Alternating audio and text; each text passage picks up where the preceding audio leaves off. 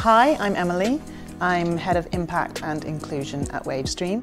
We're really focused on our mission of providing fairer financial services to frontline workers.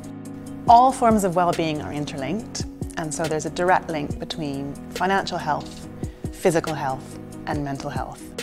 WageStream as an organisation is accountable by design. Every company has to file a set of paperwork with Companies House when they form. It's called their Articles of Association that describes how the company operates and what they're here to achieve. And WageStream is really unique in that within our Articles of Association we have our, we have our social mission. Doing good is in our DNA. One of the ways we make sure that we're building fairer financial services is through data and making sure we measure our impact. So we do that in two ways. We use our own internal data, such as our six monthly impact assessments, but we also look to partner with trusted third-party organisations, such as Ipsos Mori or 60 Decibels, who will independently verify the impact that we are having.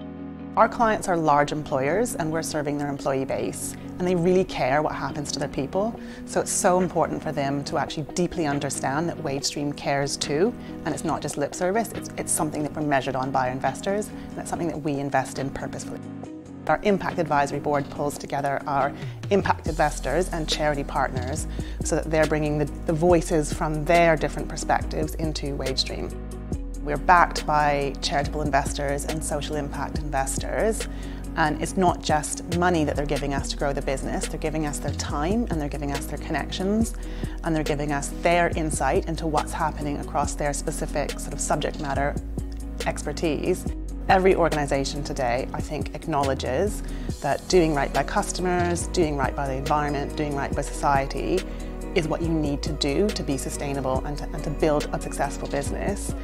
It's really hard in day-to-day -day business life to make the trade-offs between short-term revenue and long-term success.